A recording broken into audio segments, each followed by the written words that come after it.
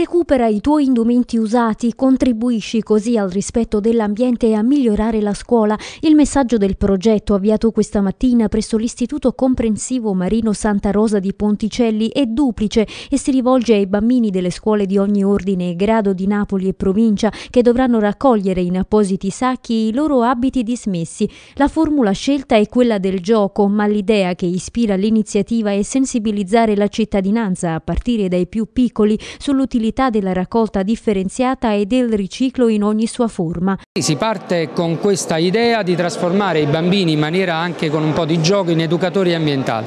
È una bella iniziativa che parte in autonomia qui in questa scuola. Io ricordo che la raccolta degli abiti usati a SIA già la fa su tutta la città da un anno con grande successo. Questo è un piccolo tassello che si aggiunge, la scuola che fa una iniziativa dove è prevista la raccolta degli abiti usati e soprattutto la gestione corretta della raccolta raccolta differenziata. Questa progettualità che si basa su un'idea della scuola casa, cioè della scuola come luogo che ti appartiene, eh, i bambini eh, attraverso la raccolta degli indumenti e i proventi che può venire da questa raccolta una volta che gli indumenti sono stati lavorati, abbelliscono la loro scuola in collaborazione con la società Imentex che fornirà i sacchi per la raccolta e si occuperà del recupero e riciclo degli indumenti, il progetto è promosso col patrocinio del comune dall'Asso Commercianti di Ponticelli, già impegnata sul territorio al fianco delle attività che denunciano il racket. I ragazzi sono il, futuro, il nostro futuro.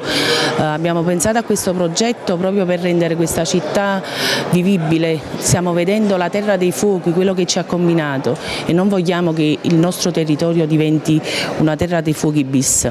I ragazzi sono le spugne, assimilano le cose buone e le cose cattive. Noi abbiamo presentato questo progetto perché ci crediamo. Oltre a tutelare l'ambiente, la campagna di sensibilizzazione investirà sulla scuola. Parte del ricavato sarà infatti destinato agli istituti che aderiscono per l'acquisto di suppellettili e materiale didattico. Voglio ricordare a tutti, mettete le buste nelle campane, lo dico sempre, deve diventare un mantra questo, perché è l'unico modo per aiutare noi, che siamo in difficoltà con i servizi, non ci nascondiamo mai dietro al dito, ma soprattutto anche per aumentare la qualità su cui noi puntiamo, noi non puntiamo sulla quantità, noi puntiamo sulla qualità di quello che effettivamente va a riciclo.